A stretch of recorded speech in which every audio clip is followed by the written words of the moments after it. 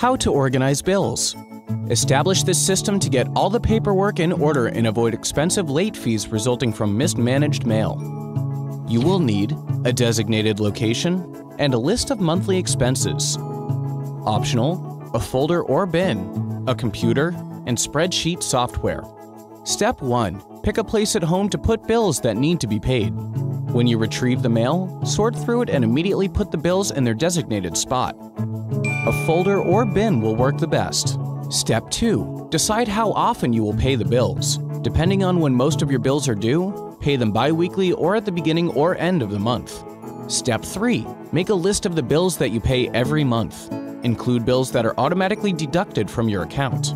Use spreadsheet software to add your bill totals every month. List the bills to be paid in the first column and identify the months along the top row. Step 4. Separate the list into groups of when they will be paid. Step 5. Retrieve your list and paper bills to be paid from the bin when it is time to pay the bills.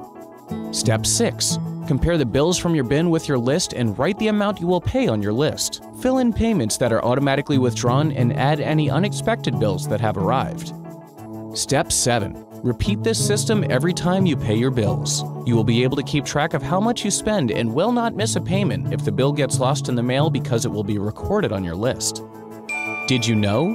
The U.S. Postal Service processes 405,000 pieces of mail every minute. Most of them are probably bills.